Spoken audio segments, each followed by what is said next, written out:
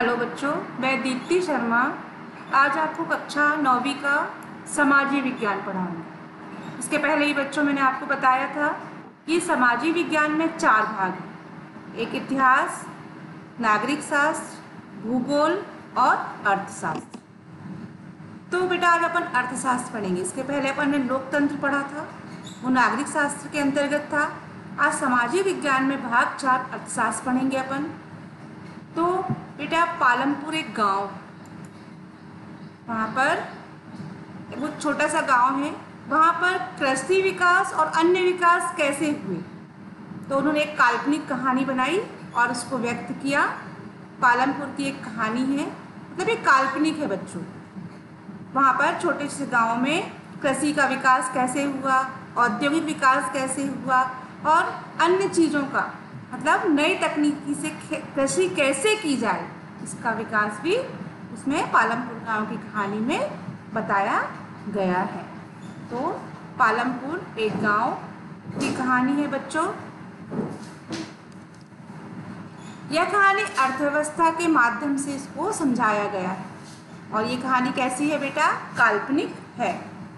पालमपुर में खेती प्रमुख क्रिया है। मतलब जो पालमपुर गाँव है वहाँ पर कृषि, खेती जो होती है, वो एक प्रमुख क्रिया है, क्योंकि तो गाँव के लोग पहले कृषि ही करते हैं।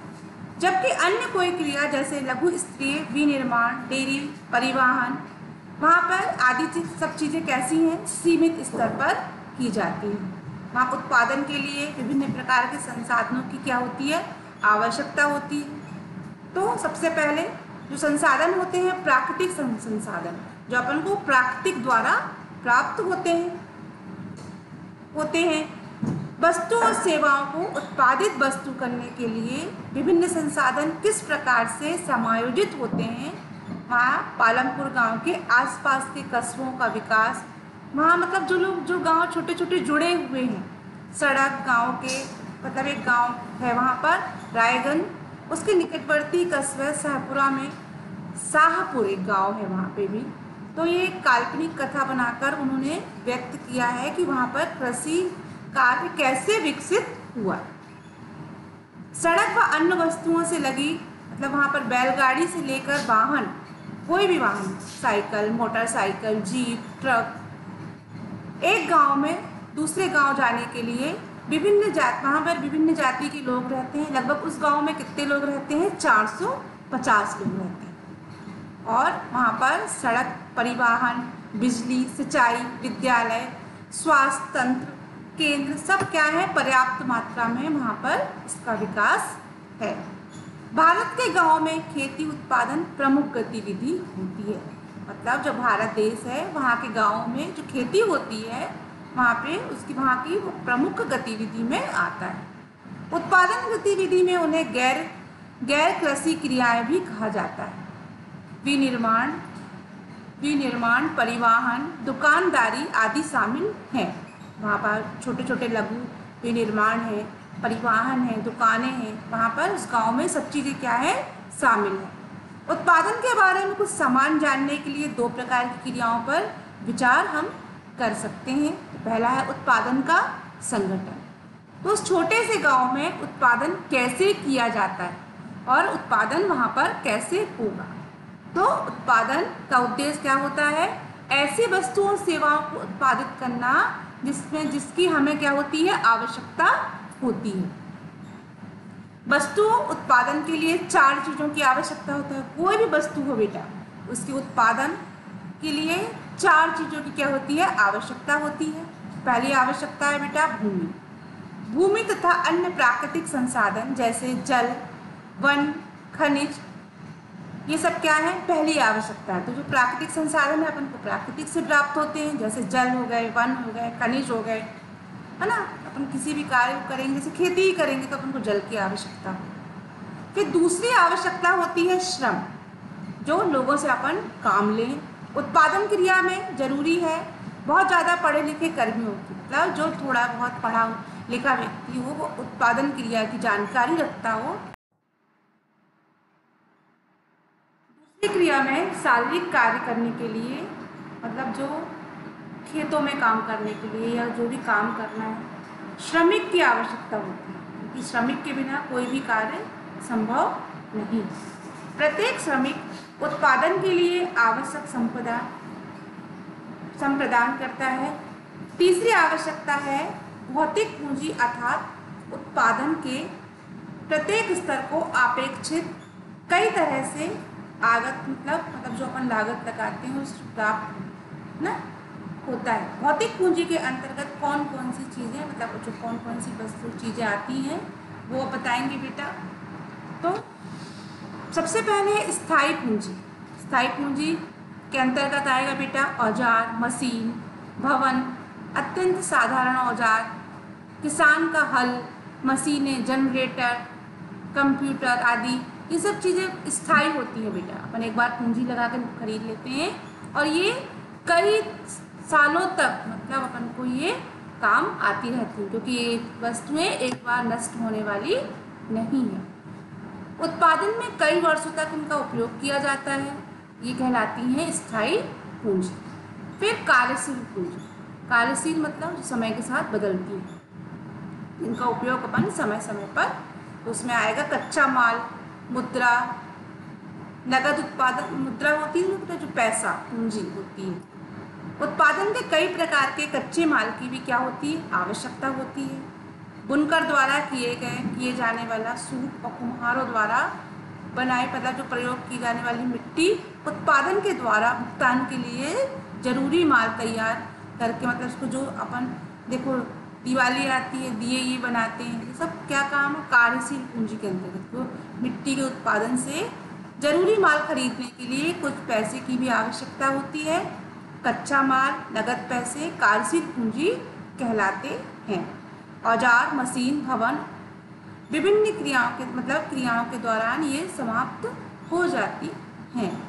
चौथी आवश्यकता होती है स्वयं उपयोग हेतु बाज़ार में बिक्री एवं अपन किसी चीज़ में पैसा लगाते हैं, उसके बाद अपन उत्पादन करते हैं, फिर चौथी प्रक्रिया क्या होती है, अपन उसको बाज़ार में विक्रय हेतु प्रस्तुत करते हैं या बाज़ार में लाते हैं।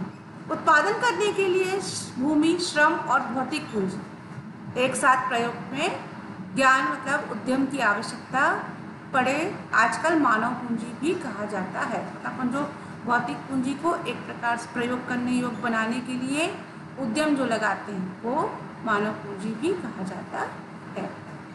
उत्पादन, भूमि, श्रम और पूंजी को समायोजित करने वाले संगठन होता है। उत्पादन के कारक भी कहा जाता है। पालनपुर की कहानी को पढ़ने में, क्रम में हम उत्पादन की तीन कारकों के बारे में पढ़ा। तो भूमि अपन ने ये कारक पढ़े, तीन कारक हो गए बेटा। उसके बाद कृषि पर आ जाइए। कृषि, भूमि मापने इकाई हेक्टेयर है। गाँव में भूमि का बीघा आदि के जैसे क्षेत्रीय कार्यों के लिए इसका उपयोग किया जाता है। एक हेक्टेयर 100 मीटर की भुजा वाले वर्ग के क्षेत्र के बराबर होता है। छोटे छोटे खेतों में जो कृषि कार्य करते हैं, है ना? जिस प्रकार की फ़सलें काय पर उस मतलब उस भूमि पर पैदा की जाती हैं। जैसी सुविधाएँ उपलब्ध होती हैं, उन्हें देखकर पालमपुर, उत्तर प्रदेश पालमपुर कहाँ है? उत्तर प्रदेश के पश्चिम भाग में। कोई भूमि यहाँ बेकार नहीं छोड़ी जाती। बरसात के मौसम में खरी, ज्वार, बाजरा की फ़सलें होती हैं। पौधों को पशु के चारे के लिए भी उपयोग किया जाता है। इसके बाद अक्टूबर में यहाँ आलू की खेती होती है। सर्दियों के मौसम में यहाँ रबी की खेती होती है। उत्पादन के परि, के लिए, परिवार के खाने के लिए गेहूँ, किसान मतलब जो गेहूँ उत्पादन करते हैं तो परिवार के लिए भी रख लेते हैं और मंडी भी भेज देते हैं बेचने के लिए। एक भी, फिर उसके बाद गेहूँ की खेती के बाद वहाँ पे गन्ने का उत्पादन भी होता है। गन्ने के रूप में फिर व्यापारियों को, जब गन्ना उत्पन्न हो तो व्यापारियों को वो बेच देते हैं। भारत के सभी गाँव में उच्च स्तर स्तरीय व्यवस्था है। मैदान के अतिरिक्त हमारे देश में तीस क्षेत्रों में अच्छी सिंचाई होती है। इसके विपरीत पठारी क्षेत्रों में और दक्षिणी के पठार में सिंचाई कैसी होती है? कम। देश में आज क्षेत्रों पर खेती मुख्य वर्षा पर मतलब जो जिन भी क्षेत्रों, जो क्षेत्र होते हैं बेटा, जहाँ पर कृषि काय पर निर्धारित होती है?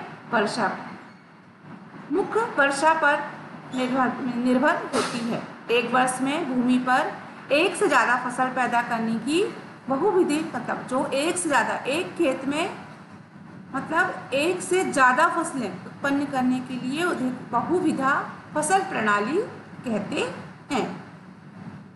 भूमि का एक टुकड़े में उपज बढ़ने की सबसे सामान्य प्रणाली है ज़मीन के टुकड़े में उत्पादन बढ़ाने का तरीका। विधि फ़सल प्रणाली दूसरा तरीका है, अधिक उपज में खेती में आधुनिक कृषि का प्रयोग करना। मौसम के अनुसार फ़सल उगाना, परंपरागत बीजों को सिंचाई की आवश्यकता होती है। फिर यहाँ पर किसानों के पास गाय होती है। गाय के गोबर से क्या बनती बेटा खाद बनती गाय के गोबर दूसरा प्राकृतिक खादों का प्रयोग किसानों के पास तत्काल उपलब्ध खरीदने के लिए उन्हें खरीदना भी पड़ता है। फिर है रासायनिक उपलब्ध। रासायनिक उपलब्ध वो होते हैं बेटा जिससे उसके आधार पर मिट्टी, जैसे कि आपको अच्छी खेती करना है है ना? उत्पादन बढ़ाना है खेती का कृषि। मतलब कोई भी चीज़ का अगर आपको उत्पादन बढ़ाना है तो रासायनिक उपयोग भी आपको उपयोग करने हैं। किसको किसान, है ना? ऐसे किसान जो मिट्टी में में, मिट्टी में घुल जा रासायनिक उपयोग जैसे खनिज जो मिट्टी में क्या होते हैं? घुल जाते हैं। पौधों को तुरंत उपलब्ध हो जाते हैं। जैसे अपन कोई रासायनिक पदार्थ डालते हैं तो मिट्टी में डालते हैं तो मिट्टी में डालने से पौधों को वो तुरंत मतलब उससे मतलब मिलता है। उसकी जो हाँ मिट्टी में घुलने पर और वो मिट्टी लंबे समय तक उनको क्या करती है, धारण कर लेती है। मिट्टी से निकलकर मोम, जल, नदियों और तालाबों को प्रदूषित करते हैं। रासायनिक मिट्टी में उपस्थित जीवाणुओं को नष्ट कर मतलब जो रासायन, जो मिट्टी होती है, जो नदियों में अगर बह जाती है या कुछ तो उसमें जो कीड़े, मकोड़े जो भी होते हैं, जीवाणु होते हैं, वो क्या हो जाते हैं, नष्ट हो जाते हैं।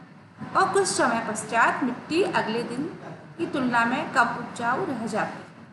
तब एक बार खेती करने के लिए वो रासायनिक उर्वरक एक बार ही उपयोग हो उसके बाद आपको फिर से उसमें रासायनिक खाद आदि का प्रयोग करना होगा। रासायनिक खाद के प्रयोग से होती है। कम हो जाती है, अधिक से अधिक रासायनिक उर्वरक और का प्रयोग करना पड़ता है। इसका मतलब है खेती की लागत बहुत तेज़ी से बढ़ रही है। तो अधिक अधिक उपज वाले, बीज वाले मतलब खेती को बढ़ाने के लिए आपको अधिक उपज वाले बीज लेने होंगे, उर्वरक लेने होंगे। और कीटनाशक डालना होगा जिससे अच्छी आपका कृषि मतलब जो कृषि कर रहे हैं आप जिस भूमि पर तो आपको उत्पादन या अनाज अच्छी मात्रा में प्राप्त हो। इसके लिए बाँध मतलब बिजली, सिंचाई, नहरें मतलब उसके, अगर आप खेती करोगे तो पानी भी आवश्यक है। आप खेती करने के लिए आपको खेत को जोतना है, उसके लिए आपके लिए ट्रक भी, ये सब क्या है? आपके आधुनिक कृषि के लिए करने के लिए, उपज बढ़ाने के लिए ये सब चीज़ों की आवश्यकता होती है जो आप चित्र में देख रहे हैं। किसानों को भूमि किस प्रकार से वितरित खेती के लिए, भूमि कितनी महत्वपूर्ण है? खेती में काम में लगे सभी लोगों के पास खेती के लिए पर्याप्त भूमि नहीं होती। कुछ लोगों के पास भूमि होती है बच्चों, कुछ लोगों के पास भूमि नहीं होती। पालमपुर में, ऐसे ही एक पालमपुर गाँव की मैं आपको कहानी बता रही हूँ ना, उसमें 450 परिवार हैं। लगभग एक तिहाई मतलब डेढ़ सौ परिवार के पास क्या है? भूमि नहीं है। और वो दूसरों के खेतों पर क्या करते हैं? काम करते हैं और अपनी जीवन उपार्जना करते हैं। भूमि के छोटे छोटे टुकड़ों पे छोटे छोटे किसान खेती करते हैं। गाँव के आधे से ज़्यादा क्षेत्र में काफ़ी बड़े आकार के प्लाट हैं, खेत हैं। जो पालमपुर के मझौले और बड़े किसानों के परिवार के पास हैं। वो उसमें कृषि करते हैं। तो जो मझौले और बड़े किसान होते हैं ना तो उसमें किसानों को क्या मिलती है? श्रम की व्यवस्था कौन करता है? तो वहाँ के गाँव में जिनके पास भूमि नहीं है, उन खेतों में काम करके श्रम की व्यवस्था उन्हीं से होती है। भूमि के पश्चात श्रम उत्पादन का महत्वपूर्ण कारक होता है। ज़्यादा परिश्रम की आवश्यकता होती है। तो जो छोटे छोटे किसान होते हैं, परिवार के साथ अपने खेतों में तो जो छोटे छोटे किसान होते हैं, अपने परिवार के साथ साथ अपने खेतों में स्वयं काम करते हैं। और खेती के लिए आवश्यक श्रम की व्यवस्था स्वयं ही करते हैं। और मौजले और बड़े किसान जो होते हैं, वह खेतों में काम करने के लिए श्रमिक लगाते हैं।